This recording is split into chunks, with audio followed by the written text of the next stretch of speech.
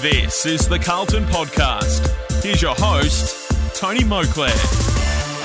Hello and welcome to the Carlton Podcast. It is episode 15. I'm Tony Moclair.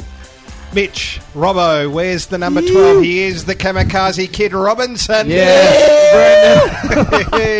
Brandon Apparel. This guy is talking. He's not even been introduced Well, yet. No, well, come on. He is the third appearance on the pod- podcast. We will reveal who it is in a second. you- but you first, Robbo, how are you? I'm I'm pretty good, mate. Um, yeah, the body's feeling not too bad. Uh, ready to redeem ourselves this week and uh, going forward. Um, at home, Emma's good. The sun's good. Yeah, Um, little chancy boy. Yeah, Yeah. the weather's terrible at the moment. Yeah, We've been training about in the the fridge. We didn't ask you. yeah. He's hey, talk- out of it. Wait till the introduction. Exactly. But yeah, everything everything's good on my end, mate. Just um, win loss ratio is not, not the best thing going. Yes, well, we will get to that, Robbo, as uh, as often we do. Uh, but firstly, our Why- guest.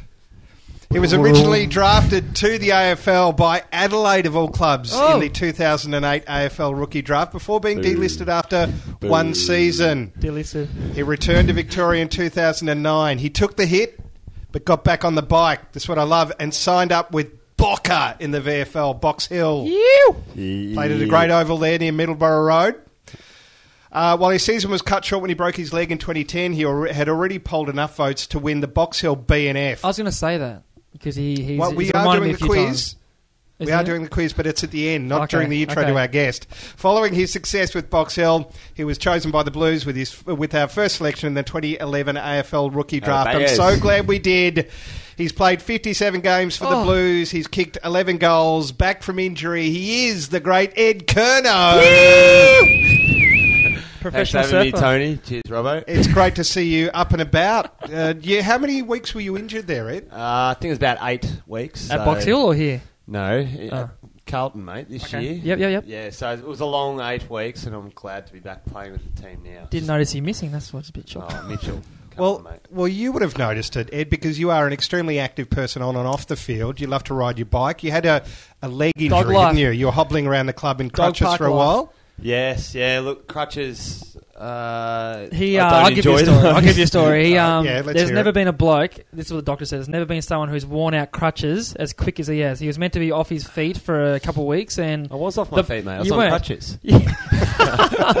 he's on one foot. Then he's on one foot. He was meant to be resting up, and he worn the bottom of his crutches out. And to prove it, I told his stepdad Butters that um he'd been sending me some Snapchats stepdad. of him with um hashtag Dog yeah, Park ma- Life. Yeah, maybe ease up on the Snapchats this Yeah, year. but, um, get Yeah, back we can't into talk about Snapchat. No, Sorry. Snapchat's been banned next- Snapchat's next a year. ban. It's a ban. Yeah, well, I mean we've all Ban. deleted, we've all deleted Thanks. it now. now, Yeah, I've- I've Ed, um, you are something of a, a renaissance man. I just want to remind people this is probably your Renaissance. about third appearance on, on the podcast. I love you, the podcast, Tony. You are well. It's great to have you here. You It's are something lie. of a re- renaissance man in that you are skilled and capable at many things. You are an intellect. You're a Intellect. No, hang on. Yes, he I'll take that, Robbo. Intellect, Robbo. Give me yes, I'm about to go through I was it. talking to Taylor Walker at Adelaide a couple weeks ago, and he was saying how weirdo this bloke is. He's, not- he's only weird because he has an in, in- intensely active mind. Okay, it's very intellectual. Okay. Just starts.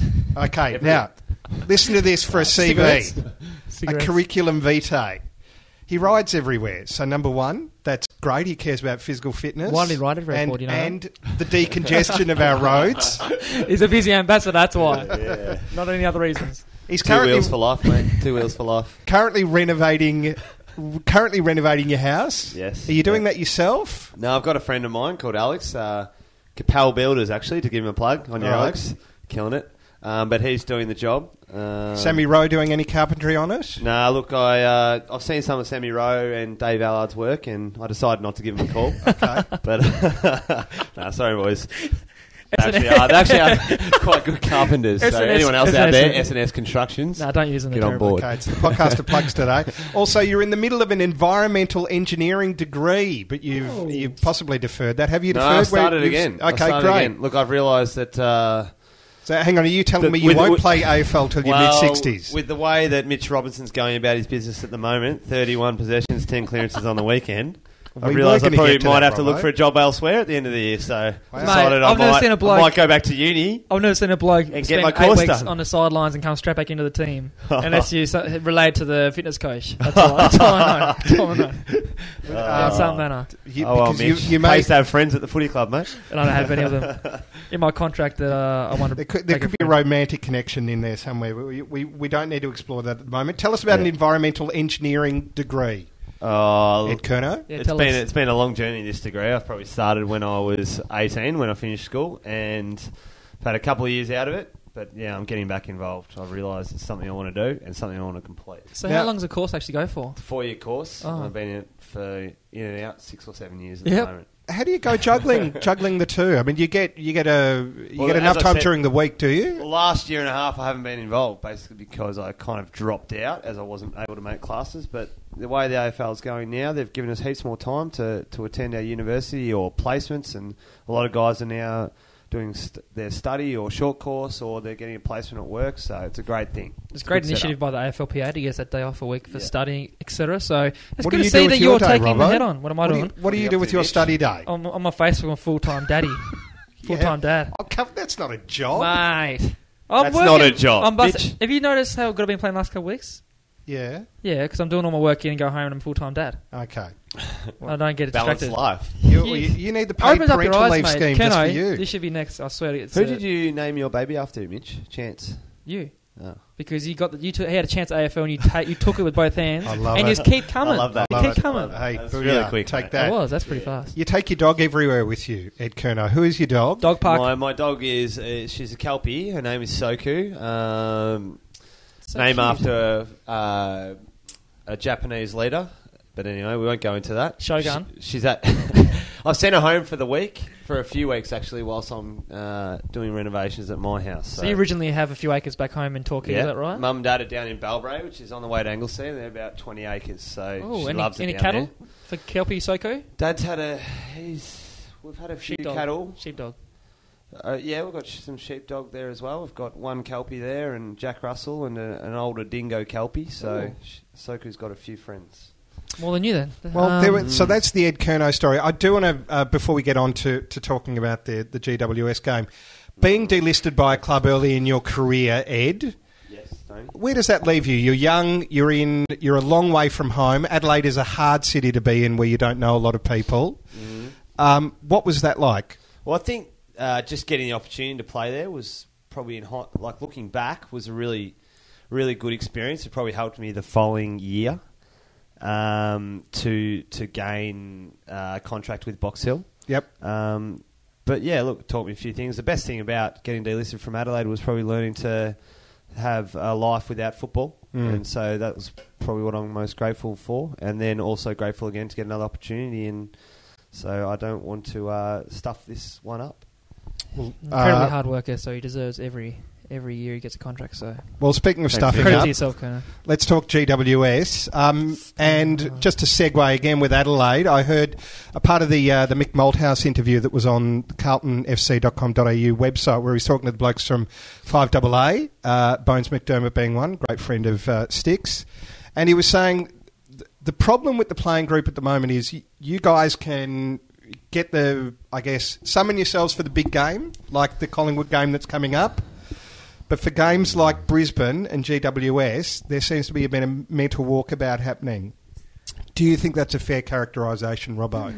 I think um, it seems to happen when our backs against the wall that we can actually we, we, we gel better as a team and we think Mm. you know we're, we don't we like we kind of stand up as one and we come out to the game and we give it everything we got because it feels like we've got nothing to lose type of thing. So it, it goes both ways. I, I, don't, I don't know. It feel, I, honestly, it felt like the last couple of weeks versus Hawthorn Geelong, we were definitely going in the right direction. Yeah. we felt like we put a line in the sand and we're going forward and stuff and it it just I don't know, it just kind of baffles me sometimes when you when you come out not no disrespect to GWS but you know we're hoping to get a win over there and then you know big game this week so what do you reckon Kerner? Yeah, I agree with you, Mitch. I think it's consistency of effort which is driving most of the players and coaches nuts, and, and that's what we've we've got to improve on. So it is disappointing. Uh, yeah, we, we do have to congratulate GWS. They're a young team on the rise. There's a lot of guns in that team. They had, what, 27 draft round pick, picks? first round draft picks. It's not bad. So keep your eye on them. They just might go somewhere. But um, th- again, their their rate of effort was there. They were more determined. They it seemed Ed like they had more to play for, which is Yeah, well, that's sad to say because I mean, you'd hope we'd have just as much, if not more, to play for ourselves. So they they played really well on the weekend, and, and they, they gave more effort than us, and that was uh, what it came down to. And it was yeah disappointing. It's been a tough week, and we're looking forward to Collingwood now, which is probably a, a great game to sink our teeth into and and look for a rebound. I will get into that in a sec. But Robert, what was the flight back from Brisbane like, or from Queensland? Brisbane, um, oh, Queensland or Sydney? Oh, sorry, sorry, Sydney. I don't, uh, Sorry. I You don't went to blank there. Nah. From Sydney. Nah, um, We're in Melbourne at the moment as yeah, well. we're in Melbourne. Yeah, so we're in, in Carlton. Um, yeah, the flight obviously, you know, we just suffered a kind of a big loss. So, you know, we had a bit of a talk after the game. We kind of you know dissected a few areas where we thought you know we can base our, our pride on, I guess, where we let, let ourselves down. So I don't know. We um the boys kind of stuck together and you know chilled out in the Virgin Lounge and kind of hung around for a little bit, then caught a flight back. But you know, obviously the mood was a bit down and stuff. But we've had, we've made a focus that we're up and about. And, um, it's not the no end of the season fully yet. So Mm. you know we can still we still got a chance, but we just got to come in this week and hopefully all our stuff will you know come together and we'll get a big victory on uh, Sunday. Robbo had about 10 toasties in the Virgin Lounge. Well, he'd certainly earned them. You, much. you burn is a few lie calories getting I actually 31 had touches, Macca's. I had don't you? Macca's down in the common area. Yeah, mate. I'm not gonna lie. It's my cheat night.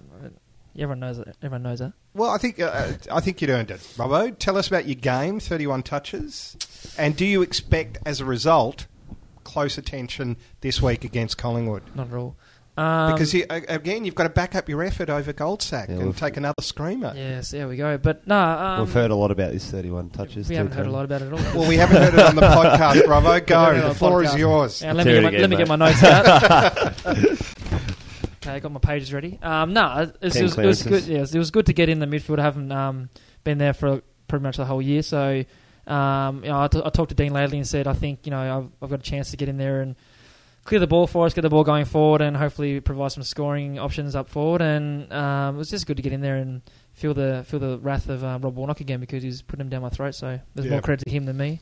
So you, you stood in for Mark Murphy, did you? Was that Pretty much, yeah, yeah. Mark, um, he, he obviously he flew up and um, just just before the game, he, you know, he had a bit of a tight hammy, so we thought, you know, let's not let's not ruin a you know by four week injury by trying to play Mm. through it. So we've seen that happen a couple of times, especially with Juddy and a couple of younger blokes um, early in the VFL. So yeah, we didn't want to risk it, and you know, he'll be he'll be up and about this week and ready to come out as a, as a skipper would, and wanted to, wanted to show the world that you know we're not out of out of the race.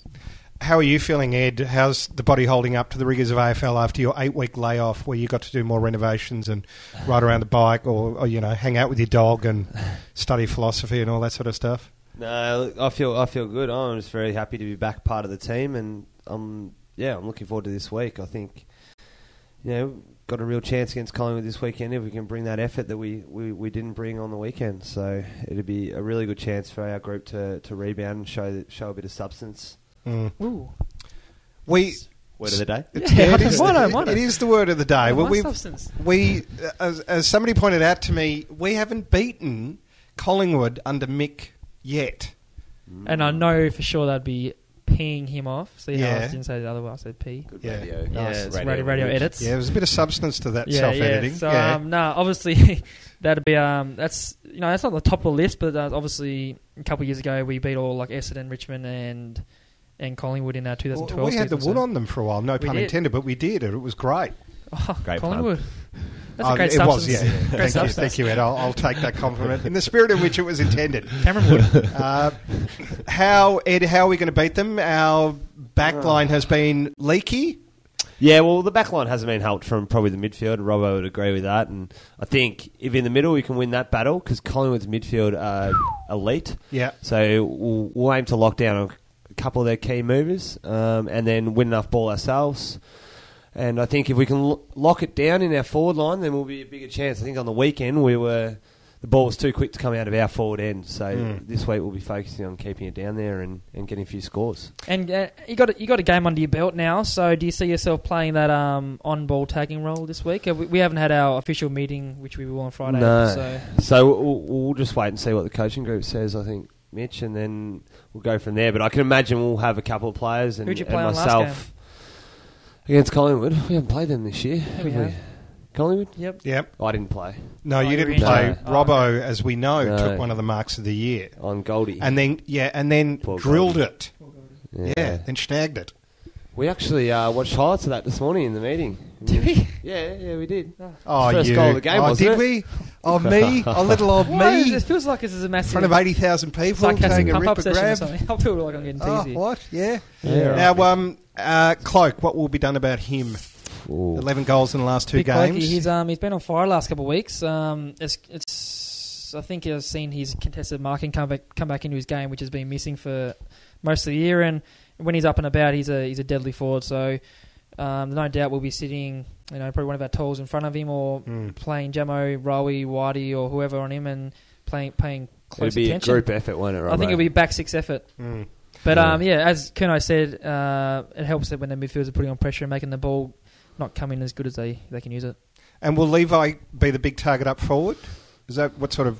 Yeah, look, I hope so. I think with Levi, we would just love him to get up there and, and be our big marking kind of presence, and if not, bring it to the ground and allow our young, our little, little forwards to make contests and keep in the forward line, and, and best case kick a goal. So. Uh, I think Levi will still be up forward. Yeah, I mean, no I'm doubt. not the coach, but I'm, Yeah. I'm pretty sure. Well, there- there's obviously pressure on for this game, the redemption from last week. There's also a very big crowd that these games always. Peter always Mac. Cup. Yeah, Yep. that's a very important Very good thing. cause. It aids cancer research, longest ever charity match in the VFL AFL history. Says Ed Curnow, completely Mm. off the top of his head. This man comes to the podcast prepared. He spends three days studying. Even and he's, he's be- he living put in a home that's not a home, it's a shell. They call he's me- renovating. If he put But as Edward's much the sounds of preparation hammers and, and drills and, and tradies making obscene phone calls, he's there studying for the podcast. That's Yeah. why he is a renaissance It's my man, devotion, devotion to the football mate, if club. you Can- put as can you much tell time into the podcast as you did to your schoolwork, you'd be flying through that. What's it, It wouldn't have biology, chemistry, or something? Yeah, yeah, Environmental environmental ambassador, I don't know, engineering. But Can you anyway, the Peter Mac Cup. tell us more about it, Ed Go Kerno. through it, Kerno. Uh, well, I suppose, um, yeah, this cup's been running. It's what the one of the longest charity matches in the VFL history, and Yeah. Nailed it. its inception was 22 years ago. Uh, off the top of the head, it's raised more than. no, very serious matters. It raised is. more than one million dollars for cancer research and, and care at the Peter Max Cancer Centre in Melbourne. So look, Well, yeah, and it will be, of course, the first Peter MacCallum Cup for the brand new official president of the Carlton Football Club, Mark LoGiudice. Yes. Have you met him, Ben Nailed Just don't ask me to name the South Korean car sponsor of the Great Carlton Football Club. Over to you, Robbo. Hyundai. Thank you. Hyundai or Hyundai? Hyundai. There we go. So, at Carlton's board meeting on Monday night, Mark officially took over from the retiring Stephen Kernahan as the next president of the Carlton Football Club. He's been a lifelong Carlton member. He's the managing director of Crawford's Group, a family owned investment and development company. Uh, involved in uh, commercial, industrial, and retail property. And further to his property interest, guys, he is a director of Premier Fruits Group, a national farming, marketing, and logistics Mark company. LoGiudice, come on down. Well, well, hopefully Fruity. we'll get him in on the podcast. We'll certainly try. I might get some If- free fruit from this well, bloke. that's kind of what I'm aiming for. Could do with some Mitch. Yeah. Um, now, it, it, just in that, we are currently searching still for a CEO. Can I? Any know, you know anyone? Well, d- No, I'm not no, available, mate. I'm playing this week. I want, I You want are. Carlton to be the first club with a playing CEO. Come Why on. Ed. Come on, Robbo. Once he gets his uh, environmental uh, oh no, sorry, you scholarship can't down, do it, can you, Robbo? Because I'm- you're a full time I'm- dad. I'm, I'm chock a blocks, mate. I'm, I'm busy. Time with chance. I'm Anyway, busy as man. Jeez, you're gonna be really busy when she's got two kids too. I want five, so we'll see how we go. Oh, we certainly hope so. You've got to milk that baby benefit Good for luck. all it's worth, right? You know it. Yeah. probably- Um, uh, now, in happy news for the club this week, Bryce Gibbs has re-signed. Gibba. Uh, ha- Gibber, since it just seems to me, Robert, this is my uh, impression that since all the, let's say, turbulence about whether or not he was going to re-sign has been settled, his playing has been much better. Is that? Do you think that's fair to say? Yeah, um, obviously he's you know it's pretty one of his better years I think Yeah. um, in stats wise, but also just the influence he's had on the group. He's um, back in the leadership group and he feels more comfortable um, putting himself out there, and you know shows on the field too with leadership qualities. So no, it's a massive, massive plus and achievement. Good work to him. Five years, it's amazing. I couldn't Mm. even get a year out of this club. So if I had half his qualities, I'd be flying. But no, he's he's done he's done he's done really well. Um, 165 games. I think he's only missed five games in, in Yeah. how long he's been here. So credit to himself. He works extremely hard, very professional, and He will be a one club player, which is very exciting. oh, you never know. Really? Well, you know, Do you know he's- something we don't? He well, signed for what five four years. years? He'll be, he'll be five 30, years. so he might do Yeah. like the one or two years another club and make a few more hundred thousand dollars or something like that. so. He, he might be like a Craig Bradley, do you reckon? And Oh, go I on think to he, his late I think he bleeds Boom. blue. Yeah. I think he bleeds No, he, blue. he'll be here for his for the rest of his life. He's um he's, he loves he loves it here, I the think way he, he's playing at the moment. and- especially Hollywood Boulevard, one to Fantastic. six. Sign him up. Yeah. Uh, so it's great. And it's great news for fans of the number four jumper, of course. He has well and truly earned that. He's uh, another champion, the likes of Luke Livingston, Yes. who also Yep. brought great glory to that jumper. And I can't think of anybody else who Had wore that games. particular number who's ever done anything for Carlton. Oh, I could probably name a couple. Tongue in cheek, tongue in cheek, tongue in cheek before you start uh, issuing death threats. Um, also, Troy Menzel, uh, tell us about his mark in the last quarter of the GWS game. That we seem to be a bit on fire this year with the marks. Oh, Oh. Troy was doing the right thing and getting down back to help out, and he, he just plucked it on the centre half back line. That's so the first. Menzel getting out of the forward line. No, he's um. it, was a, it was a no. It was a great mark. I saw. I was, I was on the bench. I'm pretty sure. I saw it, and he um, kind of went back with courage and Yeah. just stuck with one hand. Looked kind of must have had the Smooth. grippo on the fingers. I reckon. must have It been. just Must have had it. Or something. really stayed there. Quiz Time. time. All right, there we go. Quiz time. Okay, are we ready? Question me. All right, About what? Quiz. quiz. Quizziness. Okay, well, as you would know, uh, being on your third visit to the Carlton podcast, Ed Curnow, Yes. Um, at lots of time on the surfboard for you to think and mull over your teammates. Mm. How often do you get to surf? Is it once a week or? Once a week, twice if we're lucky. Yep. And then there's a few few of us get down. Robbo never comes for a surf. I don't get invited to go anywhere outside the Really? club. Not so- even with 31 touches in Whatever. No. Yeah. People despise me because they're like, "How's he going to touch in there?" Who are the cool guys in the club who go surfing? Can you just let us into The that? little- cool, the cool guys. It's- Yeah. they're not cool at all. Let's put it that way. Probably Tom, Tom Bell. Yeah. He's Probably alright. got Jarrad Waite. He's a stinker. Bryce the re-signer Gibbs He's, gets down every now he's and then. Terrible, cool head. then. Um, oh, Dill Buckley fancies himself on a board. he's jumping on. He's jumping on everything. He's Yeah. a fisherman. Now he's a surfboard. yeah. Son of Jim. Hendo gives it a go. Yeah. When he's uh, when he's okay. He's another bloke. um, Motorbike rider. who else are we talking about? Oh, Dale Thomas, the new recruit. Okay. He's actually not too bad. Yeah. He's Yeah. not too bad, is he? Big Dale. And um, you're there's missing a one bit of a bloke. crew. You're missing Who one else? more. Does a big white man get down there? Oh, big Whitey gets on the boogie board. It's a professional at With everything. Dave Ellard. Oh, yeah. everything. yeah. Okay. Isn't he? Who would So a he's in the shark? group. Who would a shark most regret attacking out of that group? Probably Kerno because he stinks. Can't you smell him? Jeez, this is I can smell him now. yeah, I'm probably the more of the bonier ones out of the group as well. Yeah. Uh, you're, you're at least two percent body fat. You're lying. Come on, mate. I don't know. Ten pack. Who else? I reckon it'd be Jarrad Waite, surely. No, he'd be perfect to eat. No, Yes, Jarrad, he would. Jarrad Mate, Waite he's would punch chewy. the shark. Would he? Of course he would. No, mate, and trust probably me. get two weeks for it, knowing Old he's Muddo. like. That be a big enough meal for the Yeah, shark. The shark would get f- too full too early. Now, can you fill us in on this? Is it a wives' tale? Uh, we don't. We don't. We when we when we No, you don't surf bleed. because no, You you don't don't. bleed. Because, no, because shark, sharks think that it's a seal. It's like it's we don't apparently worry about smells like a sharks in seal. Victoria, Tony. There's very rarely shark sightings. Just only those down the ten surf times. coast. It's just, it's just ten times that happens. There's nothing good than a good urinate in the wetsuit. Okay. okay. better. It's probably one of the best feelings. One of the better feelings. I used to be. Uh, I used to be a pretty good boogie boarder back in my day. As well. Oh, really? Yeah, mate. That comes mate, out now, Tas's Robert. got the best waves in the country. Less none of in the world. Now, Ed, this is the quiz called "Do you know your teammates Mitch Robertson and Ed Curnow?" oh, So what I'm going to Sounds do hard. is list off three, uh, like a series of clues. There's seven in all, and the first person who recognises the teammate has to buzz in with the name. Yeah, okay, are you ready, Yeah. Robbo? Yes, I'm you are ready. on fire in the field, not so much in this I'm competition. So this is about respect and redemption for you, Mitch Robinson, If I win, and to be able to look son Chancey in the eye and say, "Daddy did the family name proud today." With me? All right. gotcha, man. I'm ready to Uh, go. that's what's on the line here. Shivers. Clue number one. I made my debut for the Blues during a round three clash against Essendon in 2010. Buzz. Uh, Tuohy? Zach Tuohy? No. Oh, Rovo leaves the field open. Here's the second clue. I'm currently 10 games Am shy I of out of playing it? my 50th game for Carlton. All right, before being recruited by the What- Blues, I played 12 senior games in the Waffle and also represented the state of WA in the under 18 national championship. Buzz Kane Lucas. Buzz David Ellard. What's your answer? David Ellard. No, Kane Lucas! It is Kane Lucas! Dave Ellard. I had oh. Kane Lucas from the get go. Oh, Gordon Getgo. Yeah. So I guess I can I can say I won that one.